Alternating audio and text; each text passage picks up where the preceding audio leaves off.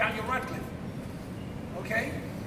I am playing Robbie Coltrane, playing Hagrid. So I'm about five feet taller, He's and a half tall, with a big beard and a lot more hair. So nice. Okay, now please, silence on set.